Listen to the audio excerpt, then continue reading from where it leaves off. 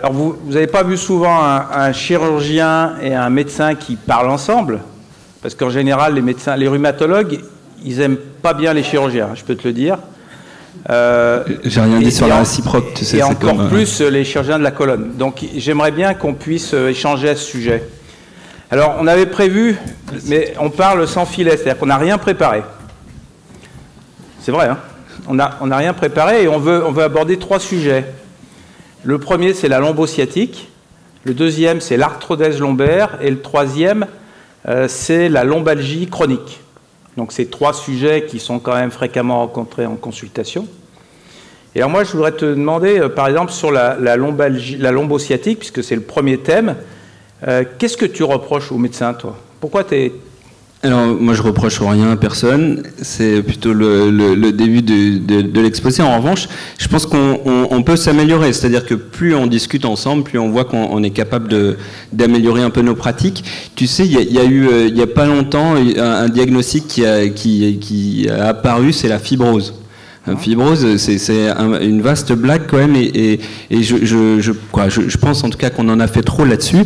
C'est que comme on est devenu assez performant, ben, on s'est rendu compte que euh, opérer quelqu'un euh, sur une IRM, ça se voyait comme euh, parce que c'est une imagerie endocanalaire. Donc on s'est dit à un moment donné, les gens vont mal parce qu'ils ont de la fibrose, mais en fait, on fait des IRM qu'à des gens qui vont mal en post-op. Mais si tu fais une IRM à, d'autres gens, il y a aussi des images qui sont des images normales, et, c'est là où j'arrive à, ce que euh, à ce que je peux reprocher à la prise en charge médicale, ce que je ne reproche pas aux, médecins. Il faut savoir qu'on est une société euh, savante, la, Société de chirurgie de la colonne vertébrale, qui unit à la fois des, des neurochirurgiens, à la fois des chirurgiens orthopédistes et on n'est pas enseigné à la fac. Donc c'est une spécialité qui est tout à fait singulière où deux euh, troncs peuvent euh, avoir accès à cette chirurgie. Donc il faut unifier les pratiques et je pense que notamment euh, sur ces douleurs, tu vois, qui, peuvent être source de mauvais résultats opératoires, c'est souvent le délai. Hein? Qui, peut avoir créé, si tu veux, une pathologie, qui est une pathologie de neuropathie séquelaire. Et donc, s'il y a une chose qu'on peut améliorer dans la prise en charge, c'est très probablement le, délai hein, de, compression, qui, à mon avis, ne doit pas excéder entre 3 et 6 mois. En tout cas, c'est les, publications euh, qui sont assez nettes là-dessus. Nous, tu es bien gentil, mais nous, quand on a des patients qui ont une sciatique, on dit qu'il ne faut pas l'envoyer trop tôt au chirurgien, puisqu'il va l'opérer très vite. Ouais, mais tu vois, 3 mois avec une sciatique tous les jours, c'est déjà assez long, je pense. Donc toi, tu euh, dis quoi? C'est quoi les délais alors? Pour moi, je pense qu'il faut opérer une sciatique à partir de trois mois. Euh, de douleur. Et alors, ce qui est, ce qui est drôle, c'est que euh, soit les gens sont très insistants et on les voit trop tôt, hum. donc ils passent aux urgences et on, nous les adresse, ou soit, moi je viens d'un hôpital parisien, je suis désolé, où, il y a un grand service de rhumato à Cochin, on en a parlé tout à l'heure un peu avec Michel, et ben les, les, les rhumatologues infiltrent en permanence 10, 12 fois une sciatique, tu vois. Et ça, je pense que c'est une perte de chance. Bah, quand j'ai vu le topo de Marc là, ce matin, euh, il y, a quand même beaucoup de médecins de rhumato qui infiltrent dans leur cabinet. Euh, je te le dis, ce qui se passe en vrai, quoi. Et, donc, c'est un peu troublant parce que quand on voit ce que nous a dit Marc, il y a un petit nerf qui passe ici et un autre qui passe là. Euh, c'est vrai que je reconnais que parfois, on ne doit pas être tout à fait très bon là-dessus. Ouais, moi je pense au contraire. Hein, justement, je viens de cette culture hein, très infiltrative, donc euh, c'est pas la culture euh, vraiment loco-régionale d'infiltrer, mais moi je suis persuadé que les infiltrations donnent des bons résultats. Et justement au cabinet, tu vois, la, bonne vieille articulaire postérieure, sur l'indication dont on parlait ce matin, bah, tu es en périarticulaire aussi, je pense. Pas forcément pile hmm. poil bien comme quand c'est fait sous, sous, scan, et ça donne, à mon avis, des bons résultats. Donc toi, tu dis que les médecins ils infiltrent trop Non, je dis, je dis pas que les un peu trop quand même je, dis qu'il faut. À Paris, à Paris, Je dis juste que le, tu peux infiltrer dix fois quelqu'un si c'est dans les trois premiers mois. Ce qu'il faut, c'est qu'à un moment donné, la thérapeutique médicale ne retarde pas la prise en charge. Et ça, sur une, une compression neurologique, c'est fondamental aujourd'hui. On doit savoir qu'une compression neurologique trop longue abîme le nerf. C'est comme quand on a le doigt qui est coincé dans la porte, ben, le doigt, au bout d'un moment, il devient violet, après il devient tout noir. Si tu réouvres le doigt quand c'est tout noir, il ne repousse pas. Hein. C'est comme ça. Donc à un moment donné, tu, vois, tu, ouvres la porte, mais quand tu as le doigt qui est coincé dans la porte, ben, on ne te, met pas des, corticoïdes dessus. Hein. Et alors, alors c'est quoi le délai qu'il ne faut pas dépasser? Je, pense vraiment trois mois pour une sciatique simple, sur, mais, mais qui a eu des traitements avant. Alors, si tu veux, moi, les gens viennent me voir à trois mois, ils me disent, mais maintenant que je vous vois, est-ce que je dois pas me faire infiltrer? Je dis, L'infiltration, ça marche très bien, mais c'était plutôt avant. Alors si vraiment vous voulez pas vous faire opérer, venez pas me voir ou, ou, allez voir le rhumato. Mais en général, nous, on s'arrange toujours pour quelqu'un qui a mal. Et c'est la culture chirurgicale, c'est qu'on essaye toujours. Et tu me dis souvent, ben, viens déjeuner au Senti. J'ai pas le temps parce que je vois ces urgences-là. Des gens qui vont assez on a le temps, donc c'est bon. Non, mais ce que je veux te dire, c'est que, en tout cas, j'essaye de, de, de le voir et, puis, euh, donc, s'il veut pas se faire opérer, je lui dis, bah, allez faire l'infiltration. Et puis, voilà, revenez me voir après. Mais je pense, en tout cas, que le mieux, c'est quand même dans les trois premiers mois, en général, ils ont eu le temps d'avoir une infiltration. À partir du troisième mois. À partir du troisième mois, moi, je Par exemple, dans les, idées reçues, les idées reçues, moi, quand j'ai fait mes études de rhumato, on dit 95% des sciatiques guérissent en six mois. Alors, qu'est-ce qu'on fait entre le troisième et le sixième mois? Ben, si, tu veux, c'est que. On continue à attendre? Je pense que mais c'est en tout cas nous trois les recommandations qu'on a prises, c'est que dans les papiers qui sont sortis hein, et, c'est assez ancien, hein, c'est les années 80, hein, c'est MacNab et dans les critères de MacNab, on parle déjà de la neuropathie. Et donc euh, ce délai de trois mois à partir de trois mois la, chirurgie est euh, est, est, recommandé, recommandable, je pense, sur une sciatique aiguë. Je, rappelle, on, est loin du cas de la, lombalgie. Et après, euh, si on regarde un peu les indications euh, euh, chirurgicales qui sont de plus en plus poussées dans les pays anglo-saxons, c'est à partir de six semaines. Donc, je trouve que le compromis qu'on a, de, d'en tout cas proposer un traitement chirurgical, parce que on propose toujours, on dit pas aux gens vous devez vous faire opérer, sauf s'il est dans un cas de, déficit ou autre, c'est qu'à partir du troisième mois, c'était une sciatique tous les jours et que ça n'a pas guéri, voilà, parce que tu peux dire à quelqu'un ça va finir par passer, il y a quand même un, trouble. Hein. J'ai opéré il n'y a, pas longtemps une jeune fille de, de, 15 ans et demi, euh, et, ça c'est quelque chose que Vincent m'a appris. Je l'avais jamais fait euh, avant d'arriver à Lyon. Bah, c'est comme une fille qui était déscolarisée depuis un an parce que personne voulait l'opérer. Elle avait une hernie discale. C'est gênant de retaper, de dire que tu es euh, malade, puisqu'elle était considérée comme une, jeune fille malade. C'est-à-dire que on l'a opérée, elle avait plus de douleur le soir même, elle est sortie. Alors peut-être que j'aurais une complication chirurgicale, tu vois, c'est trop tôt pour le dire. Néanmoins, c'est comme une opération qui est assez simple, qui dure 20 minutes, qui a peu de complications, et on, met toujours en exergue le fait de dire aux gens, on va vous enlever cette douleur dans la jambe. Néanmoins, ce qui vous a fait mal, c'est la discopathie. On n'a jamais une hernie discale sur un disque mobile. Donc après, il faut rentrer dans un système de prise en charge qui est d'abord la convalescence, mais après toute une rééducation spécifique et on leur donne de la rééducation à faire avec des bilans et euh, on les fait évaluer par un médecin rééducateur comme c'est l'habitude à, sentir. Donc c'est le début un peu de l'histoire, c'est-à-dire. Euh, Ça peut être le début de l'histoire, mais si on va jusqu'au bout hein, de notre exigence, ce qu'il faut c'est que l'histoire s'arrête là. Après, on n'y arrive pas toujours, mais souvent, quand même, les, gens euh, oublient le, chirurgien au bout d'un moment. Alors, moi, je voudrais te poser une autre question, parce que je pense que tout le monde est dans ce cas-là. On a nos patients qui viennent nous voir, et qui me disent, je leur dis, bon, il faut vous faire opérer. Ils me disent, ouais, mais alors, je sais pas, on m'a dit qu'il fallait voir un neurochirurgien. D'accord? Et vous, vous me dites qu'il faut voir un orthopédiste. Donc ils y comprennent rien. Alors, pour, toi, si tu avais à te faire opérer, tu te ferais opérer, bien sûr, par un, orthopédiste. Mais attends, alors je, vais, je vais te simplifier les choses. Alors, toi, Eric, si tu te faisais opérer, tu te ferais opérer par un neurochirurgien ou par ben, Moi, un orthopédiste. Et pourquoi? Eh ben, parce que je pense que le service après-vente est meilleur.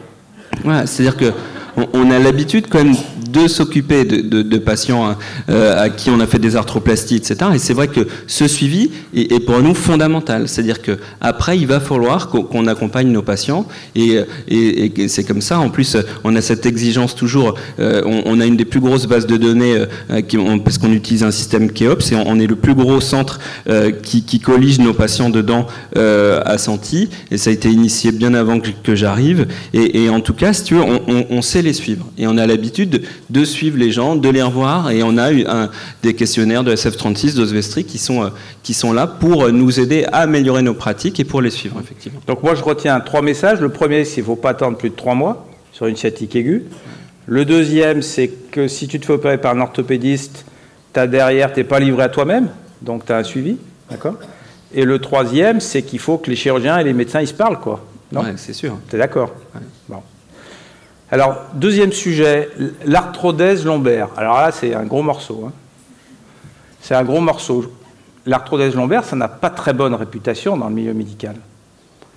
Pourquoi? Ouais, je, pense que la chirurgie de la colonne n'a pas toujours très bonne réputation. Après, il faut savoir euh, quel héritage on, a. On, est une chirurgie qui est balbutiante.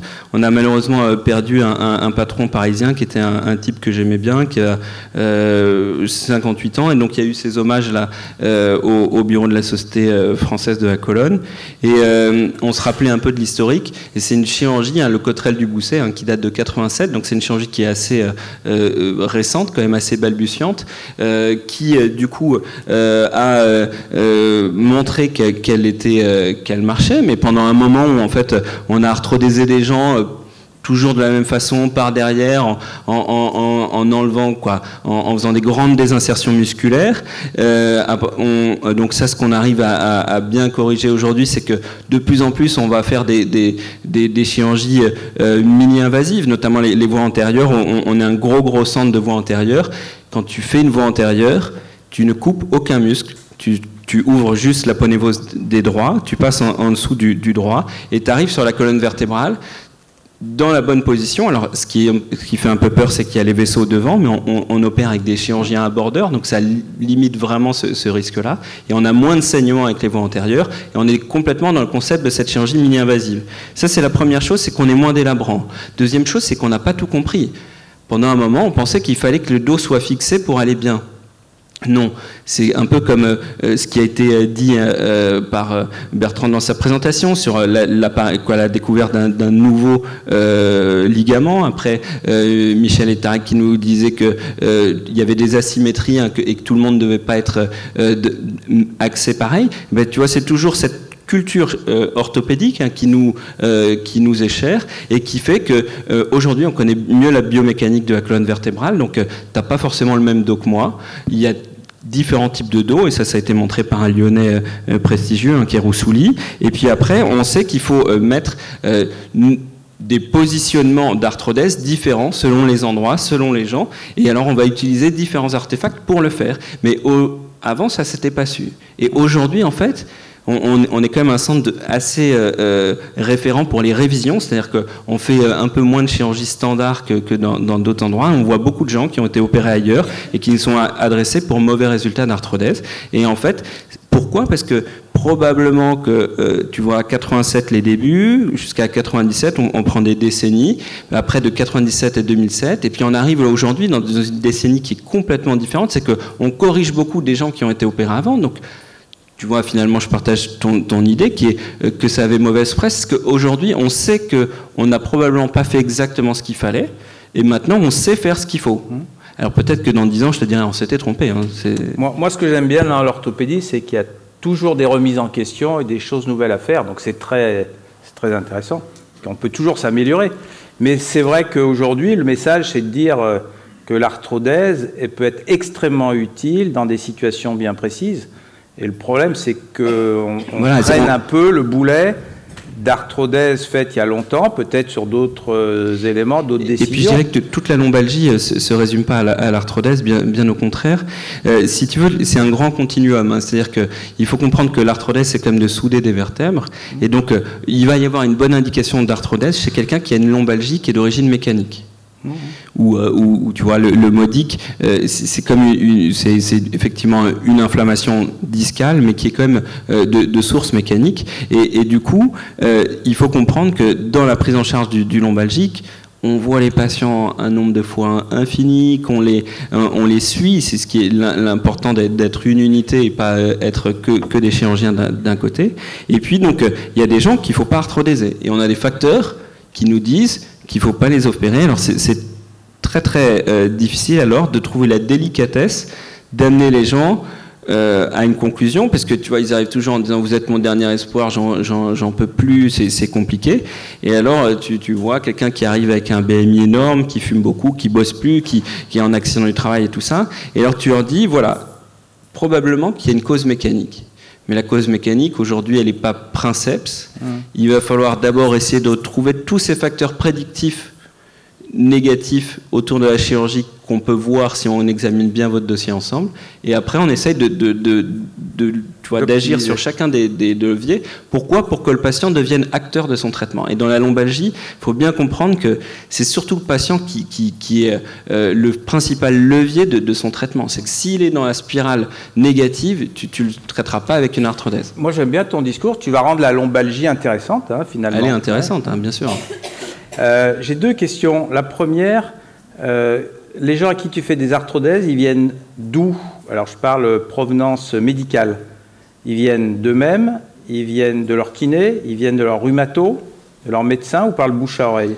Alors il y a bien sûr euh, des trois. Il y a de tout, mais euh, je, je, dirais que si tu veux, ce qui est difficile pour nous, euh, et, et, ça, je, je, je, le dis assez euh, clairement, c'est que on, on, a une spécialité chirurgicale, mais qui est très médicale. Et ce qui est, ce qui est important, c'est que euh, il, on n'arrive pas, si tu veux, à avoir des délais assez courts pour répondre à une compression neurologique, à écouter les gens pendant une heure et demie, parce que ce qui est certain, c'est qu'un lombalgique, tu, tu l'as, il faut rester très longtemps avec lui pour essayer de cerner des choses. Et donc, ce qu'on on préfère, si tu veux, c'est des gens qui sont adressés quand même. Et beaucoup de gens viennent d'eux-mêmes avec des histoires. Euh, euh tu, tu, vois, si on s'intéresse autant à la sacroiliaque, à, à, tout ça, c'est que on, on, on, en voit beaucoup, mais finalement, qui, si tu veux, qui, qui viennent parce qu'ils ils sont adressés faut dé, faut par un copain, par voilà. Et en fait, euh, dans tout ça, c'est toute une euh, toute une activité qui, euh, bien évidemment, nous fait améliorer nos, nos connaissances et, et, et, sur lequel on, on va très peu opérer. Alors, avant de parler. Donc, quand ils sont adressés par un médecin, si tu veux, ça arrive hein, que, que Pierre ou qu'Éric ou, ou, Grégoire nous disent voilà, je te l'adresse. En gros, il faut l'opérer. Alors. Moi, j'opère rarement un lombalgique que je vois pour la première fois, même jamais. Euh, donc, mais, mais, si tu veux, je dis voilà, voilà une des solutions. Réfléchissez-y bien et tout, et puis revenez me voir avec quelqu'un, votre personne de confiance. Je trouve ça bien parce que ils entendent des choses et, et, et ils entendent pas tout, donc c'est important de venir à deux. Et puis euh, euh, voilà, mais c'est rare qu'ils soient adressés d'emblée. Donc c'est des gens chez qui on, prend date, tu sais, comme les mecs qui font des assurances vie là. Et, et, donc on les a vus une fois, on leur dit allez dans le traitement médical, ils peuvent revenir un an, deux ans, cinq ans plus tard. Mais en tout cas, on sait qu'à un moment donné, on les a enclenchés dans euh, le système, et ça c'est une bonne chose, je pense. Avant de parler de la lombalgie chronique vraiment, euh, parce que j'ai quelques questions, euh, j'ai une question sur l'arthrodèse. Qu'est-ce que ça devient à long terme? Si tu veux, on a beaucoup dit, bon, alors on reporte le problème, euh, on, on arthrodèse un, étage, et puis il va y avoir la dégénérescence du, segment adjacent. J'ai la chance d'être jeune chirurgien, donc euh, je les ai pas encore, mes syndromes adjacents. Euh, donc euh, mon discours évoluera peut-être, mais j'ai un discours plutôt positif, c'est que je suis convaincu d'une chose, c'est que avec ce qu'on a compris sur l'équilibre sagittal, on protège les étages adjacents. Et si tu veux, sur une discopathie 5-1 que tu opères par devant, sans avoir touché les muscles, en relordosant à l'endroit où il doit y avoir l'apex de leur dos, c'est des gens qu'on ne reverra pas. Hein. Et, ils vont aller très bien.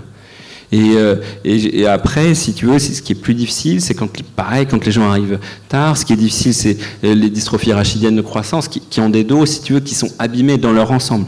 Moi, chez ces gens-là, je leur dis ça va être compliqué parce que pour le coup, euh, on, va reporter le problème. Dans ce cas-là, il y a deux attitudes. C'est soit tu laisses des gens un peu en marge, tu leur dis. Euh, allez, euh, vous vous pouvez pas bosser et, et c'est pas mon problème. Ou ça, tu leur dis, bon bah, vous allez être opéré, c'est un an d'arrêt, vous allez bosser pendant deux ans et puis vous allez revenir. Mais ça, tu vois, c'est moins sexy. Je suis, assez d'accord.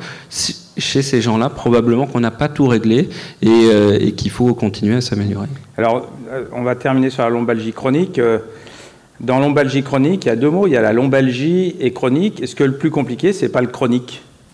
Bah ouais, c'est ce qu'on appelle les facteurs de chronicité. Hein. Et puis euh, nos, amis euh, rhumatologues, médecins éducateurs et tout ça, ils disent bien c'est le truc euh, à Cochin, là on avait un staff rachis, donc les gens venaient, il y avait 20 médecins et puis on les examinait tous et tout ça.